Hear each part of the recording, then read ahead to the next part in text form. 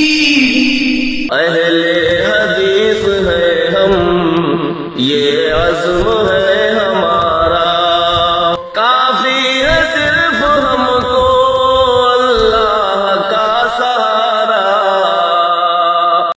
मसलक चारी है इसलिए हम कहते हैं चारों मजहब हक पर है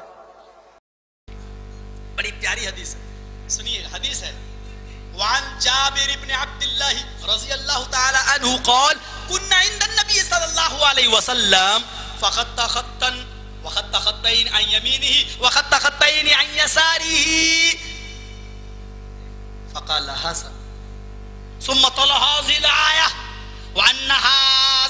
सिराति मुस्तकीमन फत्तबिऊहु वला तत्तबिउस सुबुल फतफररक बिकुम अन सबीली रवाहु इब्न माजा यह हदीस इब्न माजा की है इमाम इब्न माजा इस हदीस को अपनी हदीस में इसी तरीके से लाए जिस तरीके से मैंने आपके सामने पढ़ दी है हदीस का तर्जुमा सुनो हज़रत जाबिर इब्न अब्दुल्ला फरमाते हैं कि हम अल्लाह के रसूल के पास थे कुन्ना इंदन नबी सल्लल्लाहु अलैहि वसल्लम हम अल्लाह के रसूल के पास बैठे हुए थे अल्लाह के रसूल के पास बैठे बैठे आपने एक लाइन खींची फखत्ता खत्तन एक लाइन खींची सीधी लाइन, देखिए ये लाइन, ये सीधी लाइन खींची और दो दाएँ खींची, दो बाएँ।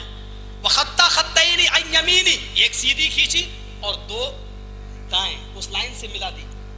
वखत्ता खत्तैनी अन यसारी, और दो बाएँ तरफ़। अब सुनिए। वकाल और उसके बाद में आपने फरमाया, क्या?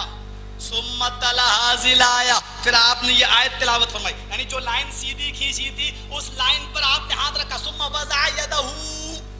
फ़ी फिल आपने बीच वाली लाइन पर जो सीधी खींची थी, आपने सीधी, उस लाइन पर आपने हाथ रखा। और हाथ रखकर फिर कुरान की आयत पढ़ी। व अन्ना हाजा सिराती मुस्तकीमन आए लोगो, तुम ये सिरात मुस्तकीम की इत्तिबा करना।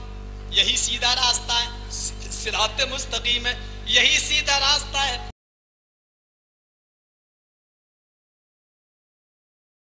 और ये चार लाइनें जो आपने खींची, उस पर आपने लिखा, हाजा सबील शैतान, हाजा सबील शैतान। इस तरफ़ लिखा आपने, हाजा सबील शैतान, हाजा सबील शैतान। आपने चारों रास्तों पे सबील शैतान लिखा और बीच वाले रास्ते पे आपने फरमाया वो हाजा सिराती मुस्तकीमन ये मेरा सीधा रास्ता है।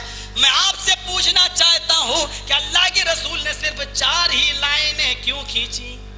हालाँकि आप पहले भी फरमा चुके थे कि मेरी उम्मत में बनी इसराइल में बहत्तर फिरके थे और मेरी उम्मत में तिहत्तर फिरके होंगे। बहत्तर जहन्नम एक जन्नत में जाएगा, आप बहत्तर लाइनें भी खींच सकते थे। लेकिन नहीं, आपको अल्लाह ताला ने इतना फरासत ईमानी दी थी और बिन जानी बिल्ला ये फरासत आपको मिली थी कि आपने चार लाइनें खींच कर इशारा कर दिया। है लोगों, दुनिया में चार फिरके बड़ा होने का दावा करेंगे। मसलक चारी है, इसलिए हम कहते हैं चारों मज़हब हक पर है।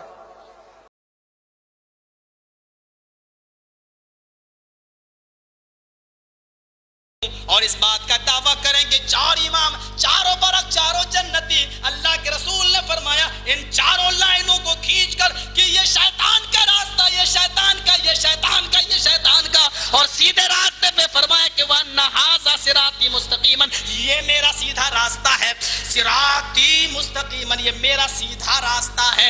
ये चार फिरकों को, ये इसलिए अल्लाह के नबी चार ही की निशानी कर गए और चार ही लाइनें खींच कर बता गए। हालाँकि बहत्तर को जहन्नमी पहले भी बता चुके थे, लेकिन बड़ा बड़ा फिरका और उसके दावेदारों को चार इशारे करके आपने इसमें भी फरमा दिया कि ये भी सरात मुस्तकीम पर नहीं है। कहो, किसको गाली दोगे मुझे?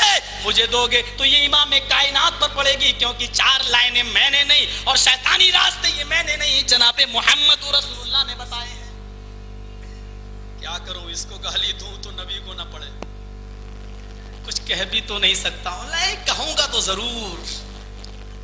मुझे मालूम है, खत का मजमू भाप लेता हूँ, लिफाफा देखकर मौलवी की शक्ल देख के पहचान लेता हूँ कि ये क्या बोलेगा। मेरे भाइयों, दस साल से मैं भी इसमें